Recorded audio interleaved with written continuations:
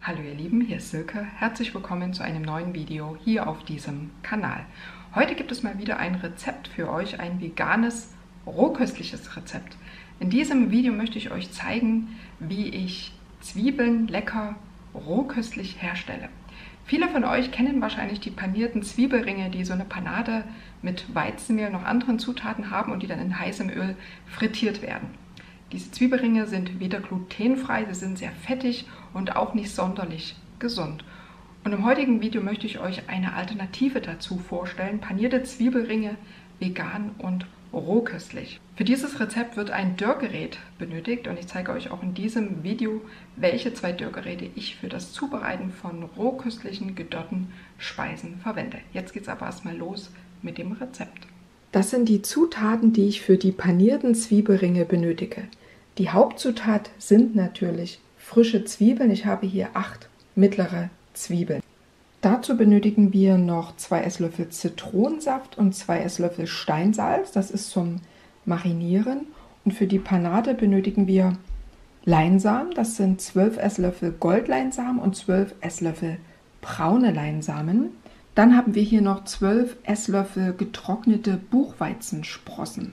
Also wenn ihr euch die Arbeit nicht machen möchtet oder wenn ihr nicht wisst, wie das geht, könnt ihr einfach noch 12 Esslöffel mehr Leinsaat verwenden. Dann haben wir hier ein Esslöffel Paprikapulver edelsüß und hier in diesem Glas befindet sich Mandelmus. Aus dem Mandelmus und Wasser mixe ich eine Mischung, in die ich dann die Zwiebelringe eintauche, bevor sie dann in die Panade aus Leinsamen, Buchweizen und Paprikapulver gewälzt werden.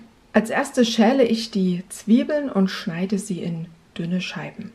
Die Zwiebeln sind jetzt geschnitten. Ich verwende für das Marinieren eine flache Auflaufform aus Glas. Da gebe ich jetzt den Zitronensaft dazu und das Salz und dann werde ich das jetzt schön verteilen und mit den Händen das so ein bisschen einkneten und dann lasse ich das Ganze ein bis zwei Stunden marinieren. Das Marinieren bewirkt, dass die Zwiebeln weich werden und durch das Salz auch schon so eine gewisse Würze bekommen. Während ich jetzt das Salz und das Zitronensaft in die Zwiebelringe einmassiert habe, habe ich schon ein bisschen die einzelnen Zwiebelringe, die ja so in einer Scheibe zusammengefasst sind, voneinander getrennt. Während die Zwiebeln marinieren, male ich den Leinsamen und den Buchweizen fein. Und ich mixe weißes Mandelmus und etwas Wasser zu einer Mandelmilch. Die Zwiebeln marinieren jetzt noch ein bisschen vor sich hin. Das alternative Paniermehl ist fertig, sowie auch die Flüssigkeit, diese bisschen dickliche Mandelmilch, in die die Zwiebelringe getaucht werden, bevor sie dann hier in diesem alternativen Paniermehl gewälzt werden. Die Zwiebelringe sind jetzt genügend mariniert. Jetzt geht es ans Panieren. Ich habe hier in eine kleinere Schüssel schon etwas von dieser Mandelmilch gegeben. Die Mandelmilch ist auch ein bisschen dickflüssig, wie ihr hier sehen könnt. Und einen Teil des Paniermehls, einen kleinen Teil, habe ich hier auf diesen Teller gegeben. Es ist wichtig, beim Panieren der Zwiebelringe darauf zu achten, nicht zu viel von dem Paniermehl auf den Teller zu geben, weil das Paniermehl nach und nach so ein bisschen pappig wird und dann nicht mehr so richtig an den Zwiebeln klebt. Das muss man dann entsorgen und frisches Paniermehl nehmen. Ich zeige euch das jetzt mal. Ich nehme jetzt hier so einen Zwiebelring, tauche den da so ein, das ist so ein bisschen abtropfen. Und dann wird dieser Zwiebelring schön im Paniermehl gewälzt und dann hier auf eine Dörrebene des Dörrgerätes gelegt. Und so verfahre ich jetzt auch mit den restlichen Zwiebelringen.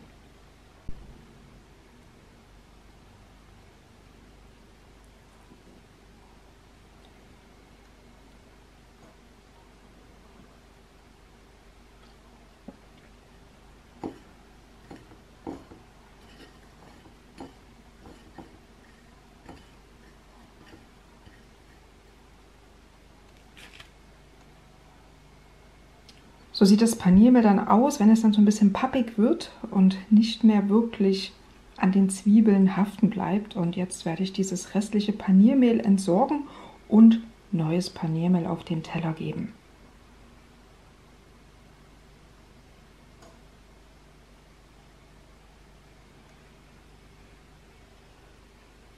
Eine Dörrebene meines Dörrgerätes ist jetzt schon mit panierten Zwiebelringen belegt.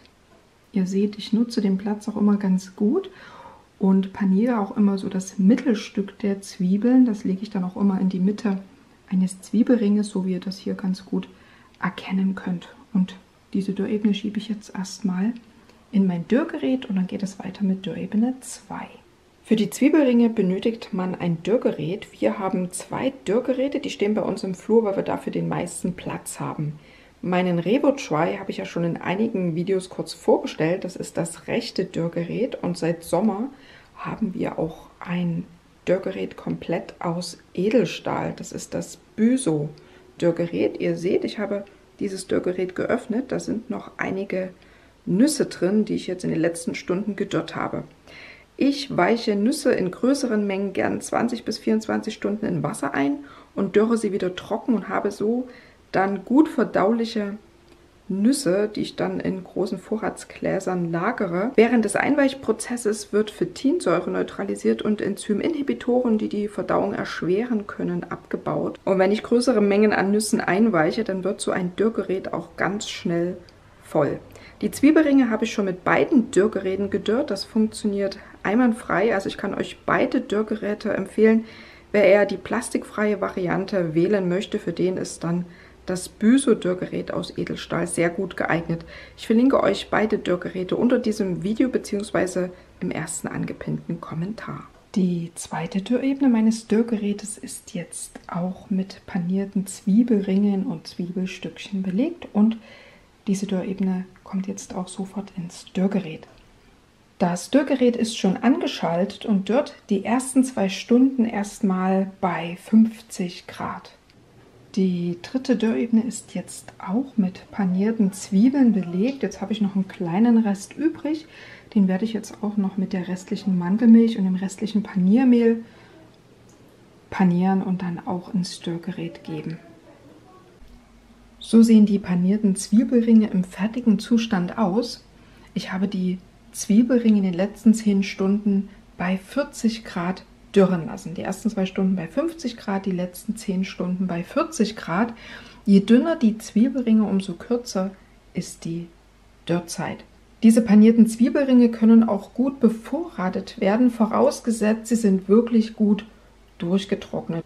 Ich werde die panierten Zwiebelringe jetzt in ein Bügelglas umfüllen und in mein Vorratsregal stellen. Mein großes Bügelglas ist fast vollständig mit rohveganen, leckeren, panierten Zwiebelringen gefüllt.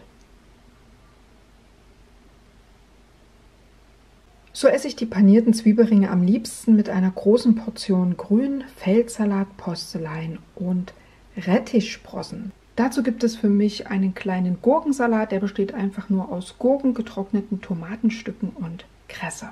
So kann eine schleimarme Ernährung aussehen. Die panierten Zwiebelringe sind nicht schleimfrei, also sie sind schon durch die Leinsamen schleimbildend, aber durch die große Portion Grün und auch durch die wasserhaltigen Gurken und eben auch die Sprossen wird die ganze Mahlzeit dann eher schleimarm.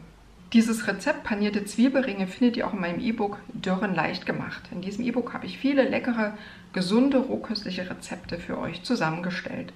In diesem E-Book erfahrt ihr auch, warum ich immer eine größere Menge an Nüssen längere Zeit in Wasser einweiche und wieder trocken dürre. So habe ich dann immer einen großen Vorrat an leicht verdaulichen Nüssen in meiner Küche, die wir pur knabbern oder eben auch für verschiedene Rezepte verwenden können. Ihr findet da auch Rezepte für Gemüsechips oder welche Früchte ich Dürre oder ich bereite auch schon seit Jahren für meine Jungs leckere Fruchtnaschis zu mit Basis auf Bananen. Dann kann man auch noch andere Früchte hinzugeben oder so ein schokoladisches Fruchtnaschi machen, so als gesunde Schokoladenalternative. Ich setze euch den Link zu diesem E-Book unter dieses Video bzw. in den ersten angepinnten Kommentar.